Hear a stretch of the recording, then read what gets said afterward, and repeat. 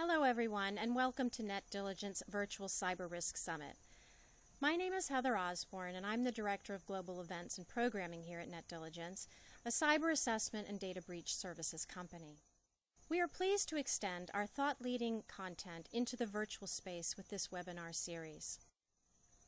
Visit the conferences page on our website, www.netdiligence.com, to find out more about our online and in person programs.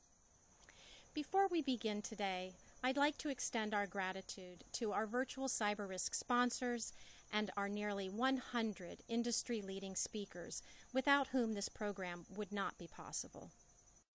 For today's webinar, we will be using the ON24 platform. Right now, you should be viewing the ON24 dashboard, which shows the live viewing screen and other features. During this presentation, all participants will be in listen mode only. Today's presentation will last approximately 60 minutes. Panelists will be taking your questions throughout the presentation. Simply type in your question and hit Submit. You may also use this feature for technical questions. In the bottom corner, you will see a widget called Resources, where you can download assets our presenters and sponsors have provided. Just click on the resource and it will be automatically downloaded. If you are interested in receiving CLE or CE credit for today's webcast, please navigate to the CLE CE box in the lower right hand corner to make your selection. This will ensure that you are emailed the CLE CE questionnaire to complete your application for credit. Additionally, please note that you must remain online for the duration of the program and answer the three polling questions that appear during the presentation. As a reminder, this webcast is being recorded. Following the conclusion of this webcast, you will be sent an archive link for further viewing or sharing with colleagues. This webinar will also be available on demand on our website. Again, thank you for joining us here at NetDiligence today. We hope you enjoy the program.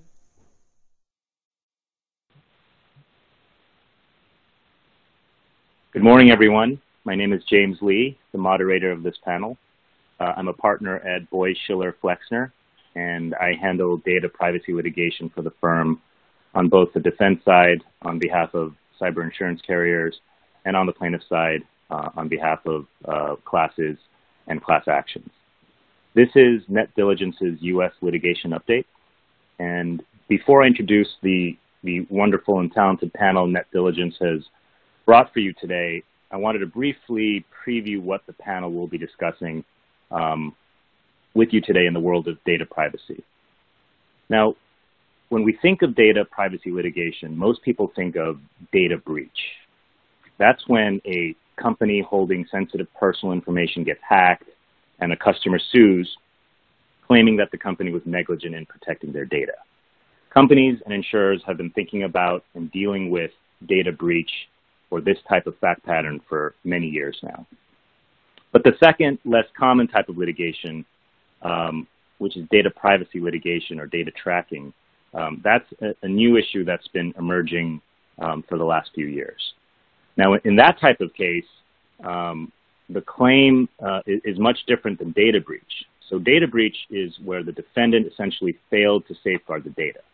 But in a data privacy litigation, the claim is that the defendant should never have had the data to begin with. Or even if they did, they used that data in some improper way. So the insurance industry has typically looked at risk analysis from a, of, data privacy issues from the perspective of data breach. Uh, in 2020, I think data privacy, in, in the manner that I've described, is becoming more and more of a focus. And there are several reasons for this shift. Um, there, are, there have been specific laws uh, passed to combat improper data collection. There have been recent court decisions giving plaintiffs standing to seek rights or private rights of action, even without proving specific out-of-pocket losses. And we've also seen the tech giants that have come under fire for their data tracking activities are starting to shift the blame to first-party websites, which implicates millions of companies. Now, those in the audience who are in the insurance industry may be asking, well, how does that impact me? Well, this could have implications for the insurance industry too. For example, when Yahoo was sued in 2013, for unlawfully extracting data from Yahoo mail messages. Yahoo demanded costs of defense and indemnification from its insurer. The courts recently found that this type of activity was covered under the insurance policy and even allowed Yahoo to collect its fees for having to litigate the issue. So a lot's happening in this area, and it's sort of unclear where it's all headed. That's why I brought for you um, panelists who are on the absolute cutting edge of different aspects of this new focus on data tracking. Some come from the plaintiff side, and some come from the defense side, and they don't always agree um, with what the implications of data tracking or data privacy litigation are. And I think that will make for an interesting discussion. So I'm going to ask them to briefly introduce themselves. Uh, first, we have David Straite from uh, Kaplan Fox. Um, David? Thanks, James. Yes, this is David Straite. Uh, I am a plaintiff side data privacy lawyer, uh, although I am now pursuing claims on behalf of uh, what we would call victims of data tracking or data breaches.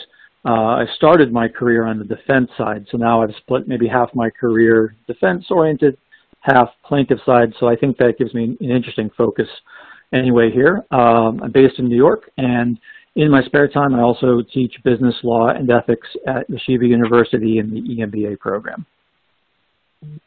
Thanks, David. Uh, now we have um, Eve-Lynn Rapp from the Edelson firm. Eve, could you introduce yourself? Sure. Hi, everyone. Uh, I first wanted to thank everyone for attending and the NetDiligence team for always hosting very interesting and thought-provoking panels and to all my fellow panelists who I've learned a lot from in our recent discussions.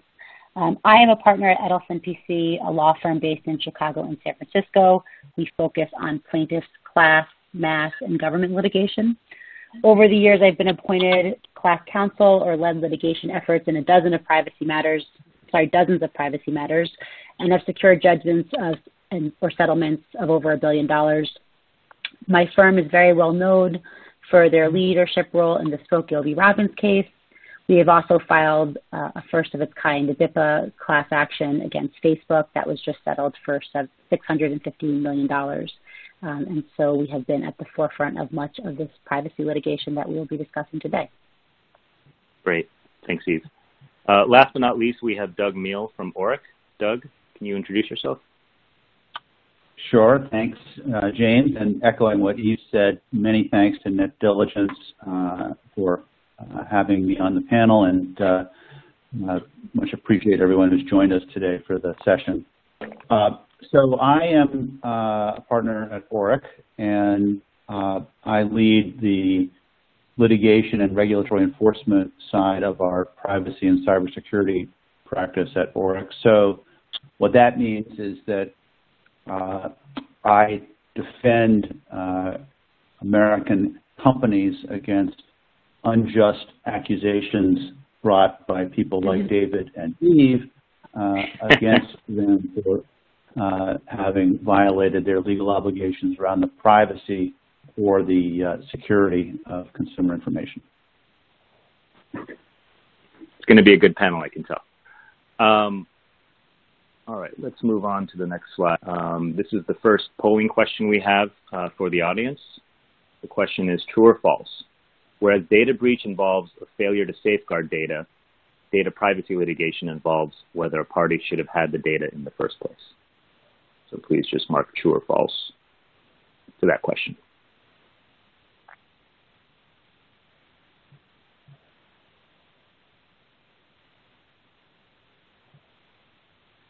All right, moving on. We have our agenda for the day. Um, today, the panelists are going to discuss uh, the emerging areas of privacy litigation um, involving four separate topics. Uh, the first is uh, the integration of analytics to track users. The second is geolocation tracking. The third is EdTech tracking. And the final topic will be data mapping. We will also discuss how uh, these emerging areas of privacy litigation may impact defendants beyond just the tech giants like the Facebooks and the Googles of the world.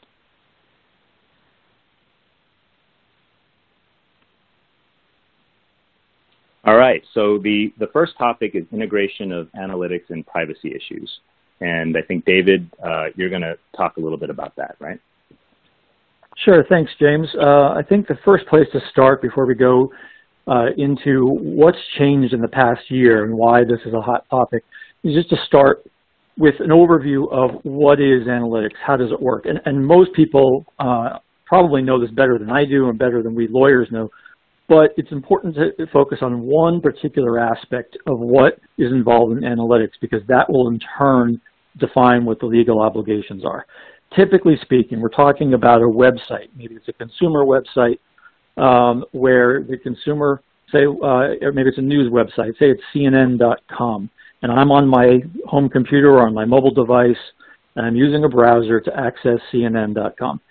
Analytics would be code that is embedded into the website by CNN. The code could come from Google, one of its companies like DoubleClick.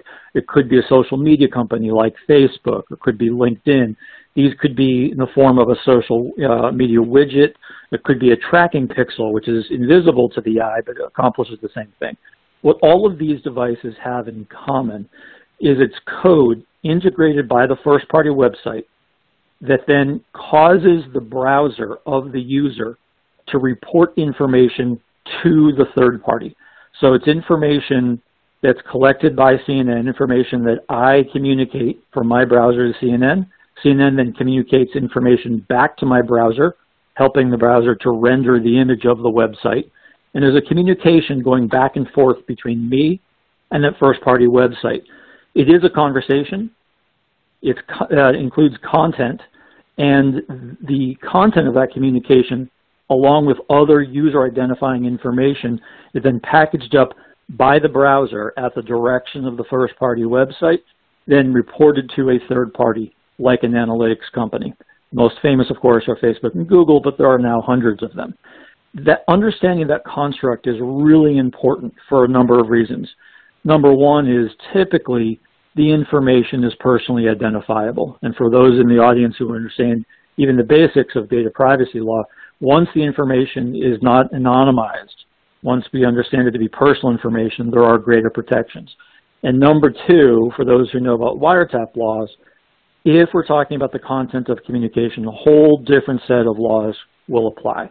Um, and the communications going between my browser and CNN are typically thought of as communications which beyond simply the IP address. If you look at the full file path of what's being communicated, that is considered typically to be the content of communication. Dispute, of course, as to how sensitive it is. If it's just CNN.com, that's maybe less sensitive. If it's me going to CNN.com forward slash how do I um, adjust mental health concerns during the pandemic, that can be a, a much more sensitive article that I'm reading. Either way, the technology that's being employed involves this multi-step process happening simultaneously in the background. So the integration of analytics, it's, it's, it should be thought of by the first-party website as a mechanism to instruct the user's browser to report some fairly sensitive information, sometimes personally identifiable information, to third parties. So that's the first thing. Um, the second thing to remember is that oh, about 20 years ago, there was a general consensus that such tracking technology is lawful. It is the basis of the modern uh, internet economy. Um, if you go to CNN.com, they may or may not collect your personal information, if you're signed in or not. Um, some websites have subscriber information, have passwords. For example, if you go to WSJ.com, there'd be a password. But even if there's not, even if the outsourcing of the collection of data goes to a third party, it's generally thought of as lawful. The case that established the basic construct is called in re DoubleClick privacy litigation. DoubleClick, prior to being purchased by Google, was already the leading company in this space. And DoubleClick, the DoubleClick case established the lawfulness of the basic construct for three reasons. First is that there's implicit consent from the users because these sort of technologies can easily and at no cost be blocked, right? Um, you can put a cookie blocker in place, uh, whether by choosing it or by choosing a browser that by default blocks, like Safari, blocks the third-party uh, um, trackers unless you choose to turn that off. Second, um, the, the websites typically are thought to have consented to the communication, and at least for the wiretap part of this uh, analysis, the uh, website only needs to have one party to the communication consenting to the sharing of the conversation with the third-party trackers. You don't need, is for federal purposes, uh, both parties to consent. Um, and then finally is that uh, trackers typically respect the same origin policy. So Google may view its own cookies on my browser, but Facebook can't view the Google cookies. O only um, only cookies that are quote you know owned by Google can be read by Google, and um, only those Facebook cookies uh, that are Facebook cookies can be um, viewed by Facebook. What that means is that a third-party tracking cookie can only be set as a third-party tracker. It cannot be set as a first-party cookie. For those three reasons, we generally think of tracking as lawful. However, what's changed? Well, as the technology has evolved and gotten more sophisticated, these basic rules are becoming blurred. So is it actually possible now, or the, say over the last 20 years, to block the tracking? If the tracking is not being accomplished through, say, a traditional third-party tracking cookie, what if you could sync first-party cookies behind the scenes so that they kind of function as as third-party uh, tracking cookies? Uh, what about fingerprinting and other sorts of identifications? What about browser identifiers um, that are set um, by some of the larger tech companies? This new change in technology that's evolving year after year calls into question the basic construct of in re DoubleClick. It means it's less certain that the tracking is automatically lawful. So the first major test of the evolving technology on the original basic uh, um, outline was in re Google and cookie uh, placement list. In that case, that followed uh, the disclosure um, in the press, it was through a, a blogger in Australia actually, um, uh, and then eventually the FTC and the state AGs investigated. Uh, Google had been circumventing the, uh, uh, the cookie blocker protections on Safari. And they claimed it was a glitch, regardless of whether it was or it wasn't. It enabled the, uh, the placement of tracking cookies through a JavaScript workaround. And the practice was ended. There was a, a consent uh, decree with uh, the FTC, and um, several million dollars of fines were paid, also some state attorneys general. And there was also a, uh, a data privacy class action. It went to the Third Circuit. And the Third Circuit um, discussed the original DoubleClick opinion from 15 years earlier and said, no, the, the presumption in DoubleClick doesn't apply. It's not a lawful collection of the user data because it was achieved through deception and disregard of the cookie blocking settings on Safari. So um, it was so the plaintiffs had a viable tort theory to proceed upon. However, the Third Circuit said but because the Wiretap Act, the Federal Wiretap Act, uh, only requires one party to the communication to consent to the sharing or the interception, there is no viable wiretap claim. So it was kind of a split decision. If we fast forward um, to April of this year, Facebook faced a similar problem where it wasn't a workaround. It wasn't the use of a secret JavaScript form to get around the cookie blockers. It instead was merely a represent to the Facebook subscribers.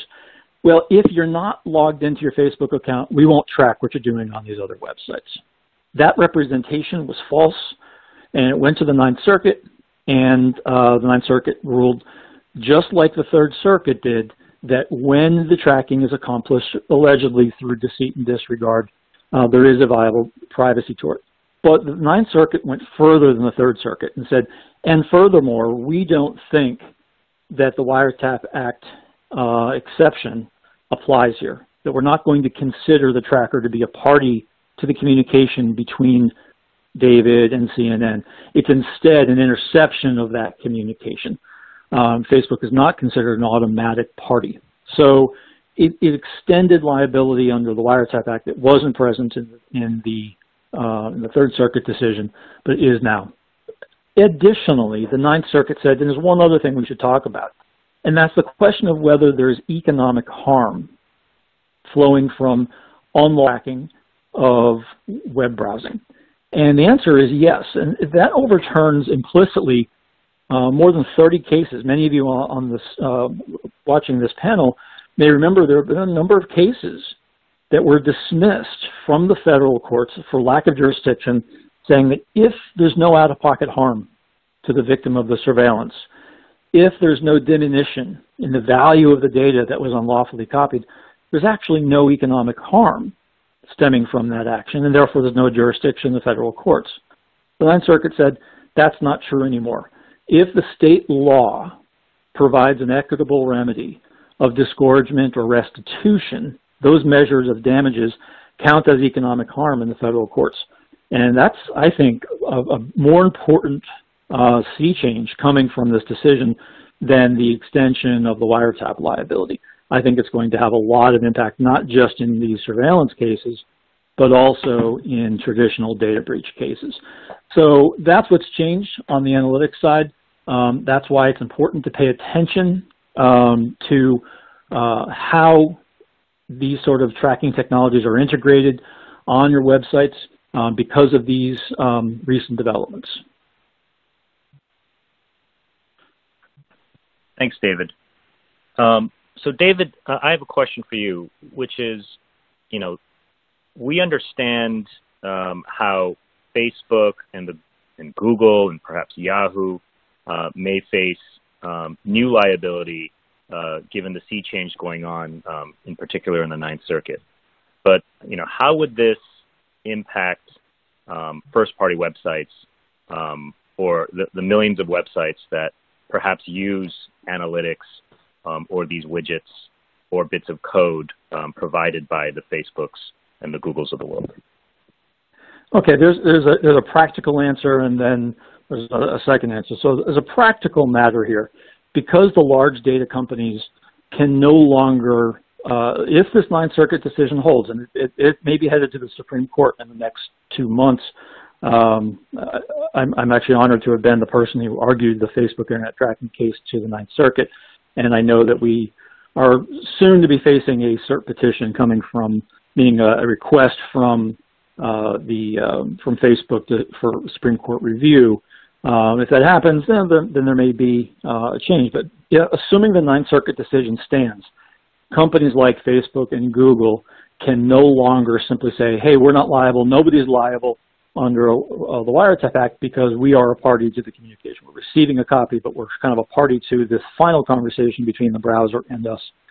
Because that's no longer a viable defense, their only option is to go back to the original construct of the DoubleClick decision, which is that, okay, the uh, first-party website that's disclosing the information, right? Because the first-party website is ordering the browser in turn to make a copy of the communication, then send it to Facebook if the only remaining defense is to say that, ah, it's the first party that's consented to the copying and sharing of the communication, necessarily that now means that the big data companies, I suspect, will start to blame the first party websites for the sharing, which means it's up to the first party website not only to defend the action, but to adduce evidence that they in fact got consent or didn't have a representation that they wouldn't share the information which would uh, then make the consent invalid.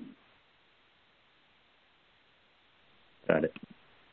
Um, I think this brings us to our next polling question, um, which is rate your awareness of data tracking litigation, either very aware, somewhat aware, or not aware.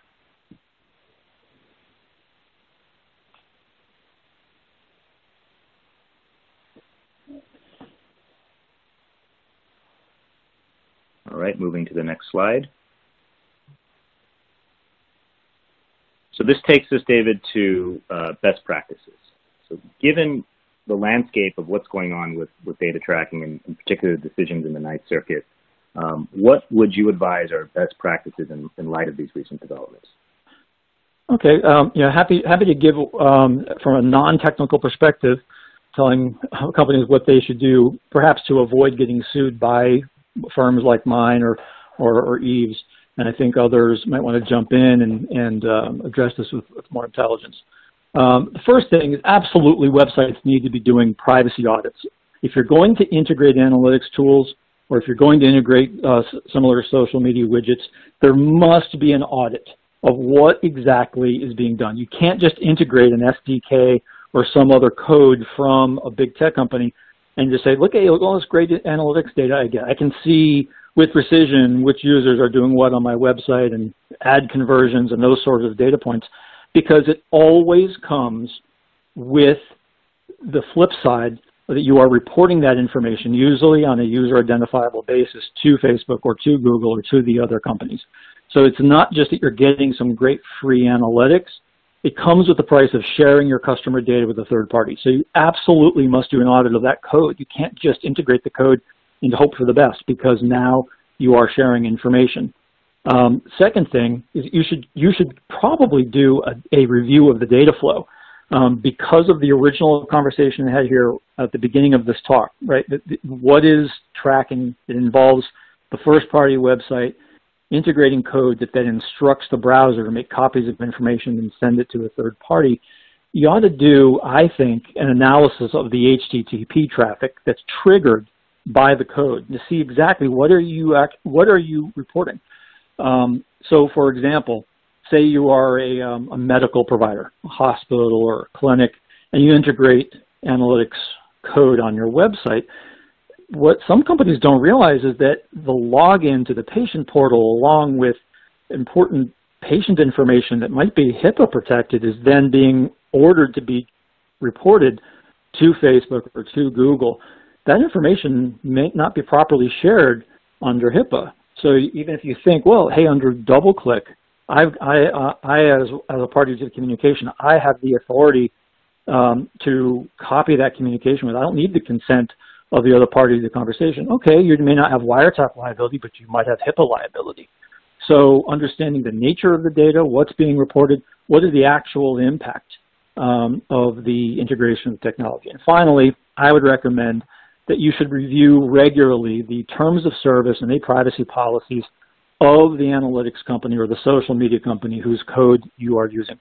For example, Facebook developer platform tells its partner websites hey, if you've got HIPAA obligations or COPPA obligations for, for children, um, or even if you have videos under the VPPA, you need a separate standalone consent form before you're sending us all this information. And duty is on you, says Facebook.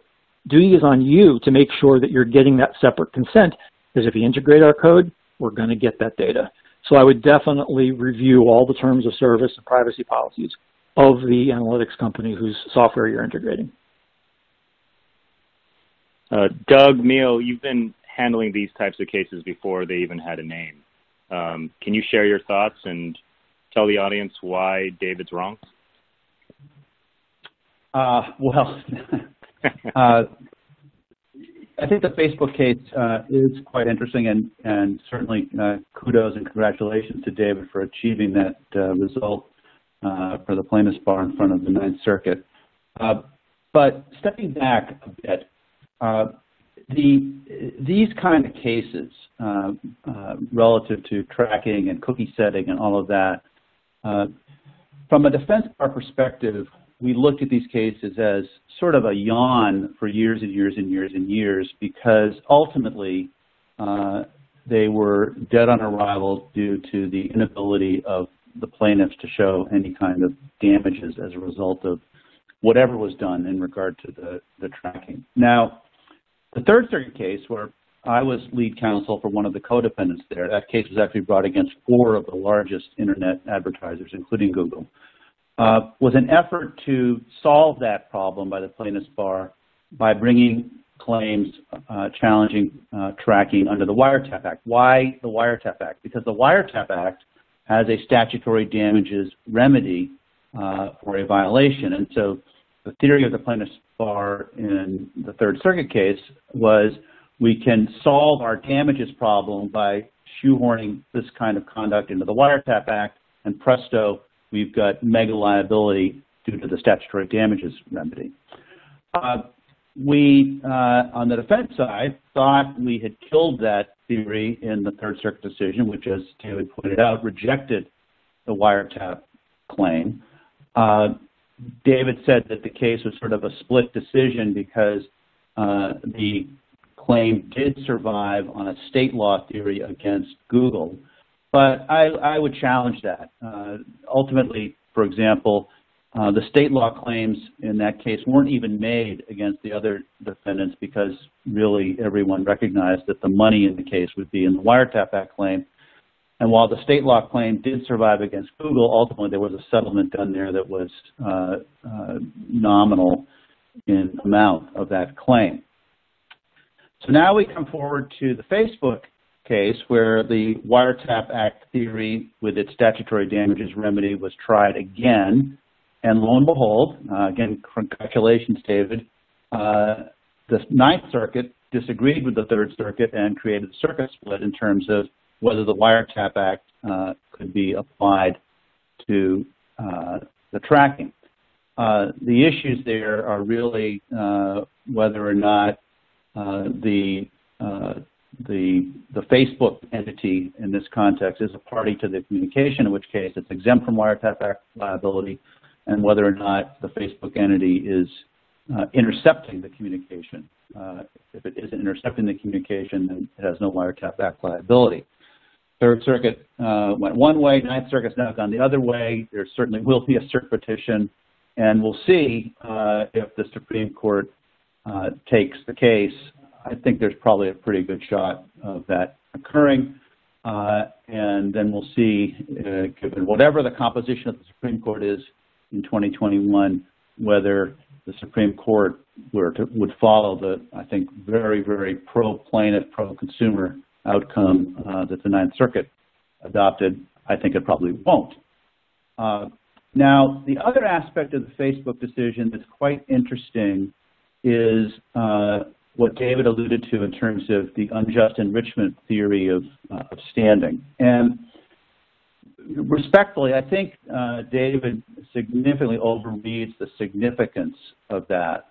What the Ninth Circuit said was that unjust enrichment, uh, and even unjust enrichment where there's no loss to the plaintiff, can be sufficient to create Article 3 standing. Now, one, you know, you can debate whether or not that's uh, good law or bad law. Certainly, at the moment, it's uh, the law for Article 3 purposes in the Ninth Circuit uh, every other circuit in the country. It's not the law. But I think what's more important is to remember that the Ninth Circuit made that ruling in deciding on Article 3 standing. An entirely different issue uh, in every case is whether the injury that is standing creating is also an injury that's actionable as a matter of the uh, state law claim in question. And in fact, here, uh, in the Facebook decision, sorry, in the Facebook decision, the Ninth Circuit actually said, in the context of finding that there was standing uh, to assert these claims for Article 3 purposes, in footnote 4 in its decision, the Ninth Circuit said, by the way, each of these claims that we're discussing, as a matter of California law, requires a showing of damages. So what, what probably will be the outcome there is these claims will go back to the district judge and the district judge will now rule not as a matter of Article 3 standing, but rather as a matter of California state law, whether uh, unjust enrichment is a remedy that's available for the particular claim that's being made. Frankly, the Ninth Circuit has already said in its footnote that it's not a viable remedy on the four counts that were being discussed in that part of the decision.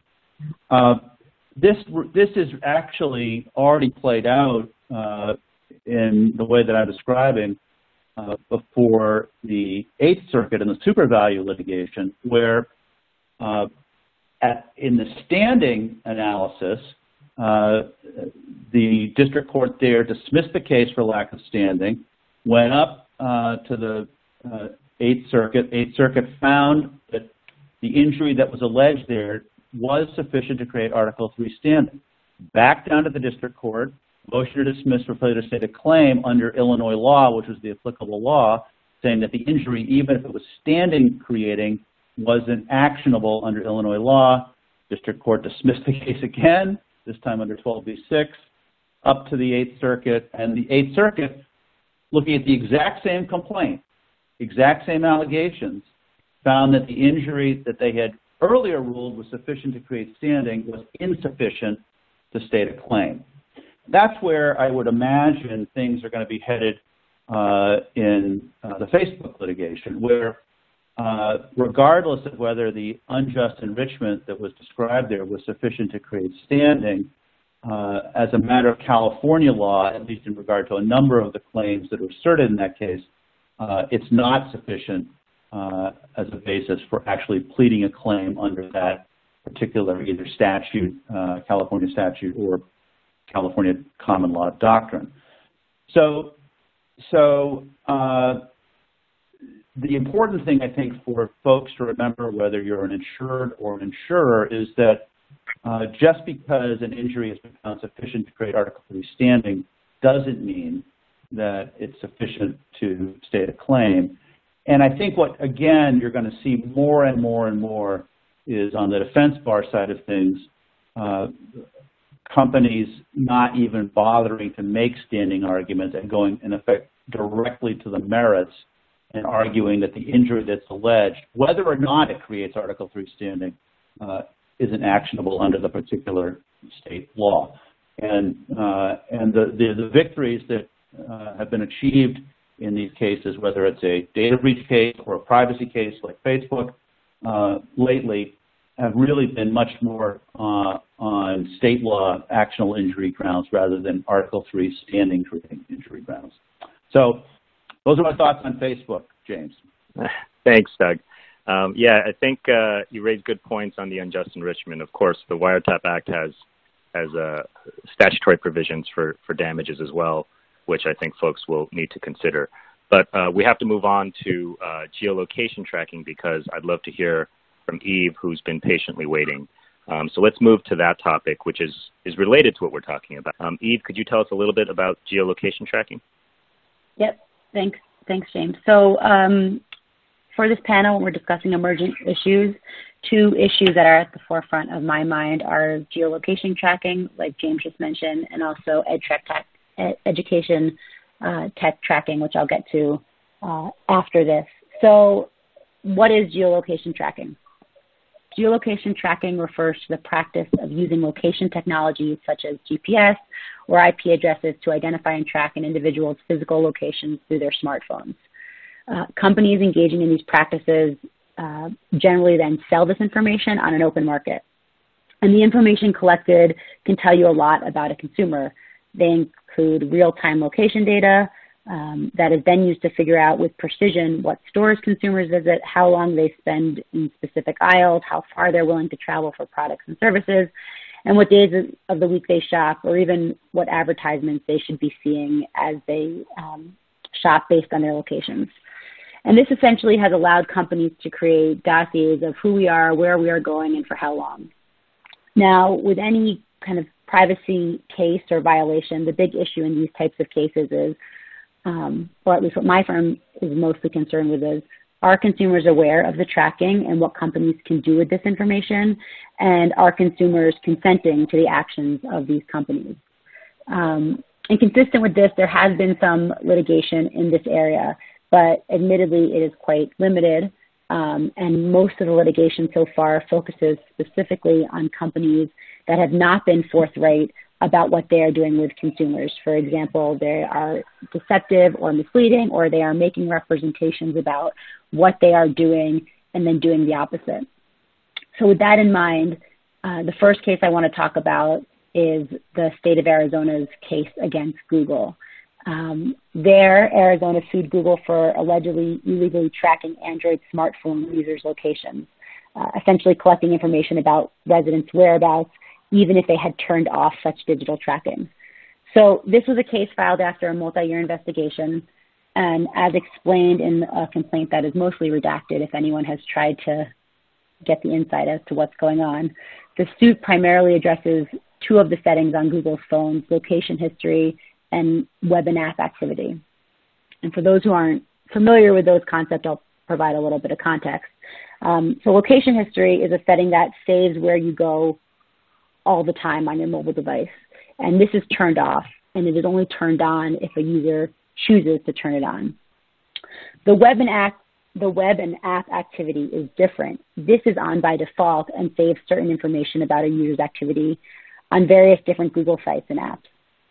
So the thrust of the, of the Arizona Attorney General's complaint is that Google made specific representations stating that if you turn your location history off, um, the places you will go will not be stored. Uh, basically suggesting that so long as this is off, no one is tracking your location or storing this information. Uh, it was later revealed, however, that even with the location history off, Google was collecting location information through other settings, such as the Web and App, uh, Web and App activity, and they used that information to sell ads.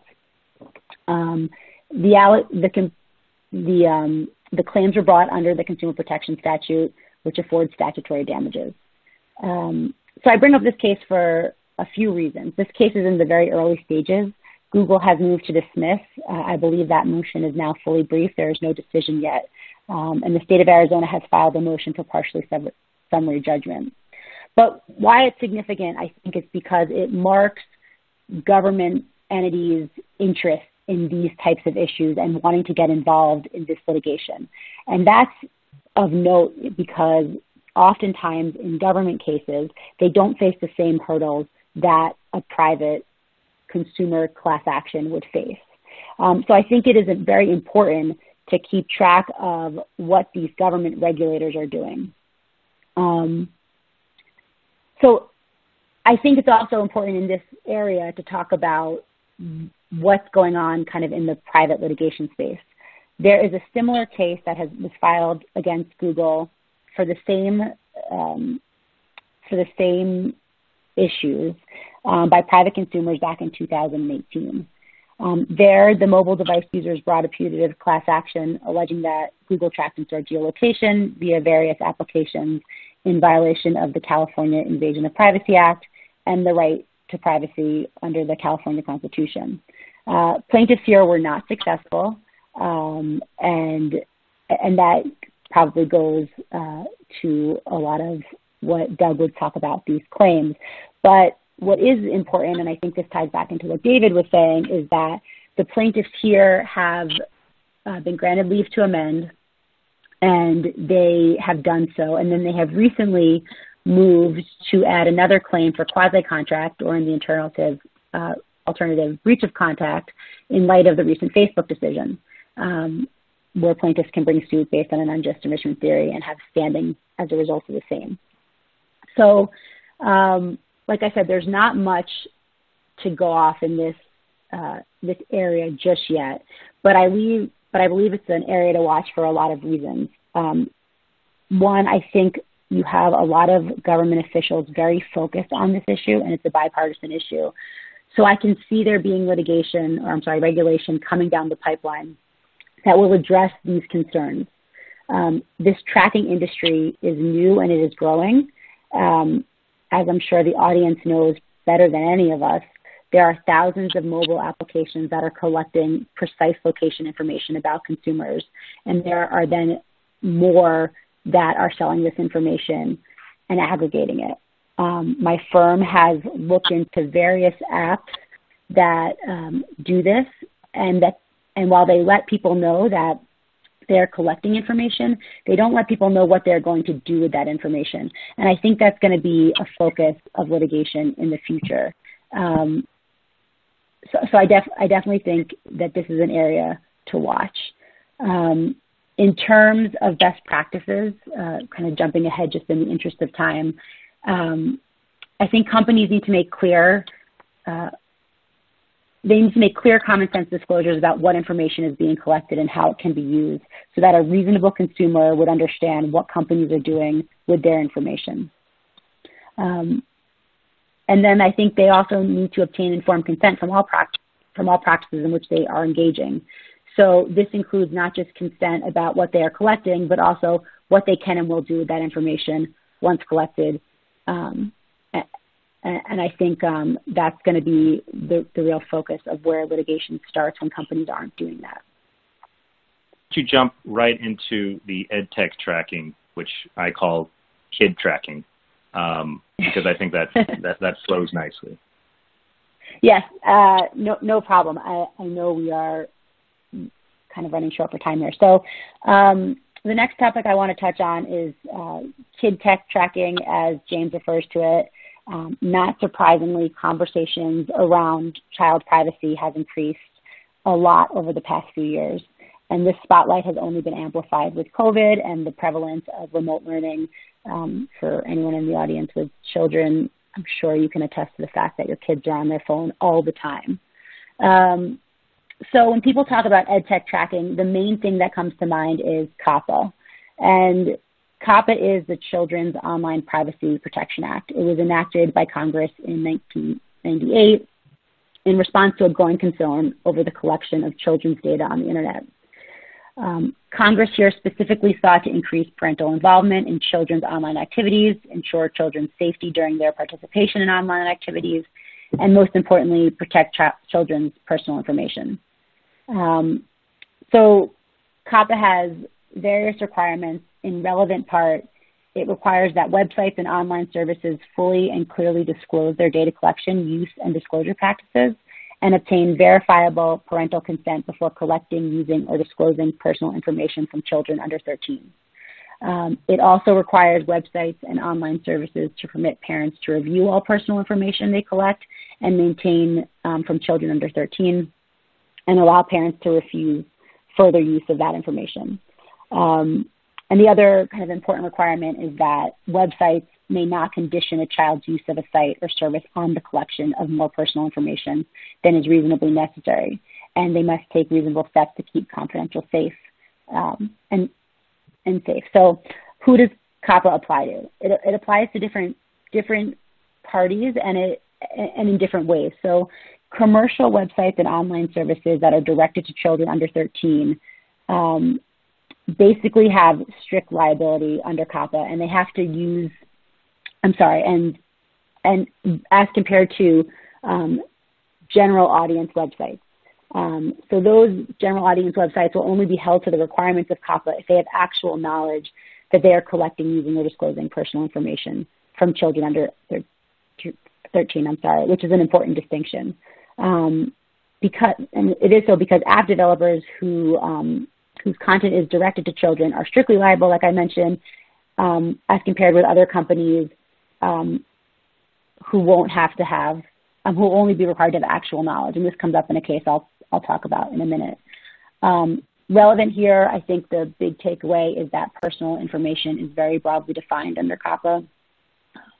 The, the, regulations list various information um, that is included. I won't go through the whole list, but first and last name, online contact information, uh, a screen name, a social security number, any kind of persistent identifier that can be used to recognize um, a, a, a, person's traffic over time, a photograph, a video. So it, it's very broad and it was intended to be so.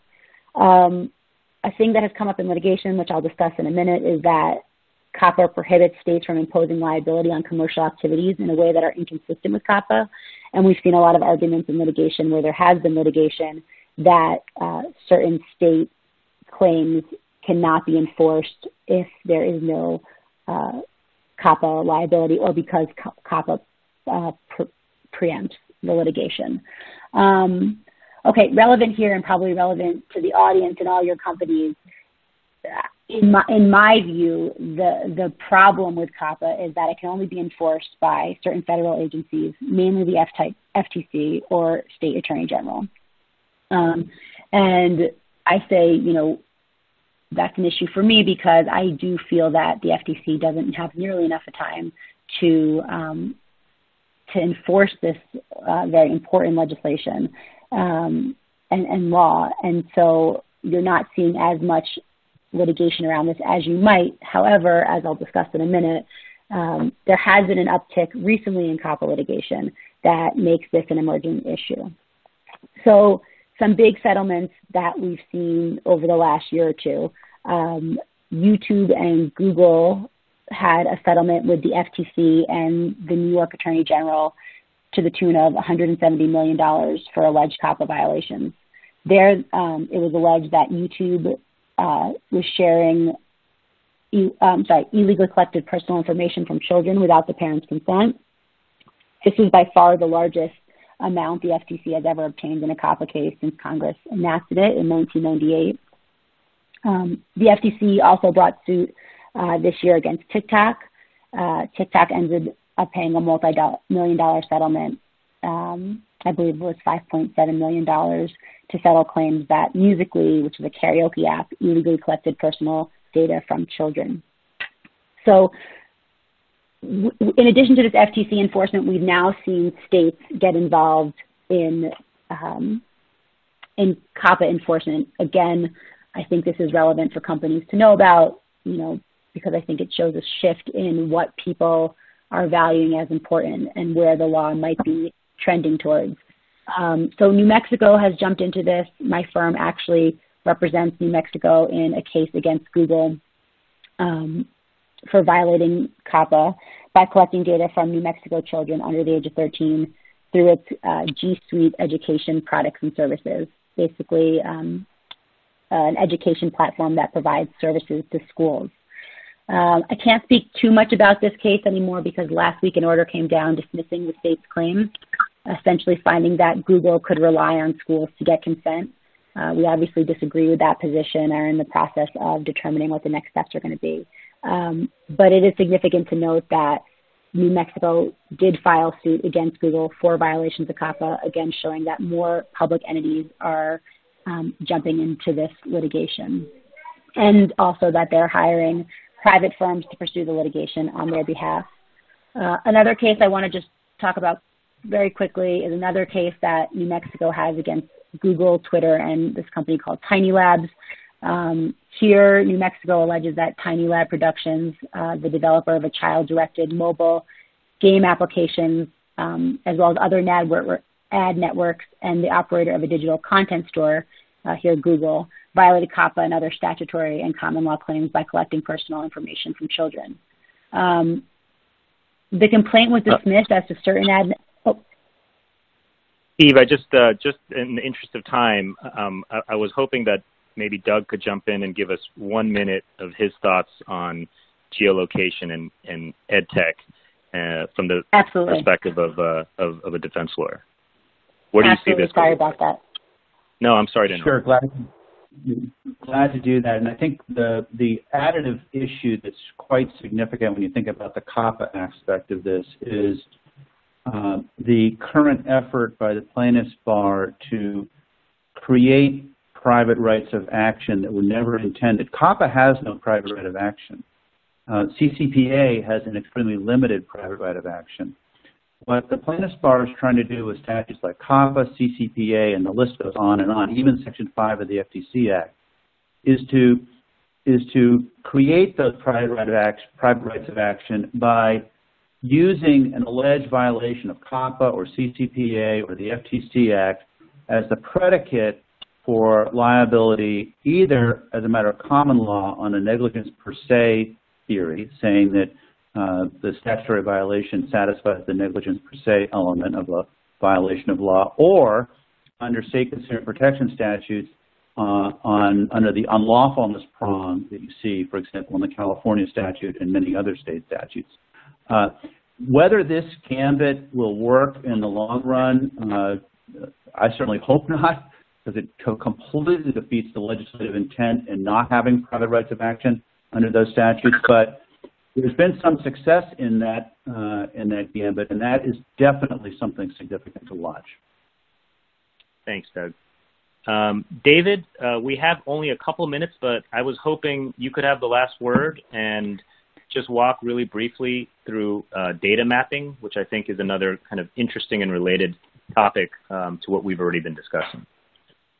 Yeah, thanks, James. And it certainly deserves its own hour, maybe in another year, this will become a hot, hot topic.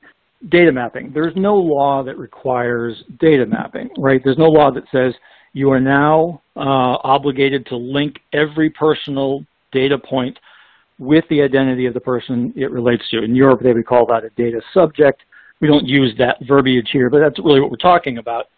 It's not required explicitly, but it's becoming a good practice. And in fact, it's becoming impossible to comply with some of the more recent mandates without data mapping. So for example, the CCPA, uh, which obviously deserves its own many hours of seminar, you know, the California uh, Consumer Privacy Act, um, certainly requires um, that you respect a customer's right and their request to delete personal information that you have about them. So if that request comes in, how do you do that if you haven't data mapped? If you have a significant California presence, how do you even know if you have a California presence if you don't track where the customers are located to see if you have to comply with the law? Um, so I would say the development this year of the effective date of the CCPA suddenly brings data mapping to the fore. In addition, the CCPA, in addition to giving the rights uh, to uh, have the information deleted, also say that the rules in effect, the disclosures in effect at the time that the data was collected will govern the use of that data. So it's no longer permissible to collect everything you can about a customer and then next year give a new contract, a new disclosure saying, here's what we're going to be doing with your data. If it wasn't disclosed at the time of the collection, it's no longer proper. So uh, it is possible that best practice might include the collection of the prior disclosures, your privacy notices, your terms of service, and linking them to the date upon which you collected the data. I don't know how one can comply with these new requirements without knowing precisely what data is connected to what customer. So I, it's a brand new area. It's, it's a new concept, but I think it's going to grow in importance um, radically. Yes, and it in, implicates uh, a whole host of industries. I agree. Uh, thanks, David, for that primer. Um, I do look forward to having a more fulsome discussion on that, um, maybe like you said, next year. Uh, to our, our final question um, for the audience, true or false, uh, COPPA requires verifiable parental consent before collecting, using, or disclosing personal information from children. True or false?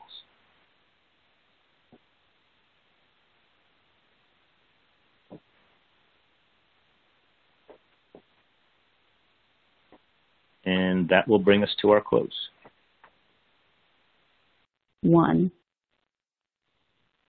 Well, that concludes today's session. Um, and I think the debate uh, that we've heard from all the panelists really just reveals the fact that um, the, the issues here are live and um, yet to be decided. So uh, we're looking forward to kind of tracking all of this and, and seeing where it goes. Um, I want to say thanks to David, Eve, and Doug for uh, being such great panelists. I also want to thank uh, NetDiligence for, for hosting this event. Um, I wanted the audience members to know that uh, there will not be a live rollover, and any questions that haven't been answered by text will be followed up by email.